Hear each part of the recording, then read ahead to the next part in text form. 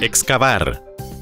Es una operación que consiste en hacer un hoyo o cavidad en el terreno, usando pico o barreta y lampa con la finalidad de formar zanjas o pozos, donde se tenderán redes de agua o se construirán cajas de registro.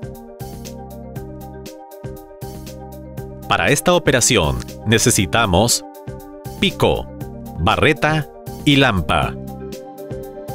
Remueve el terreno dentro de los trazos realizados previamente, usando el pico o la barreta, teniendo en cuenta que el extremo agudo, la punta, del pico se usa en terrenos duros muy pedregosos, y el extremo plano, cincel, en terrenos suaves o medianos.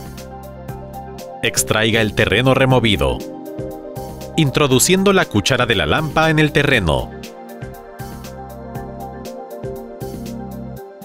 Levantando y llevando la lampa cargada hacia atrás para tomar impulso y arrojar la tierra fuera de la excavación.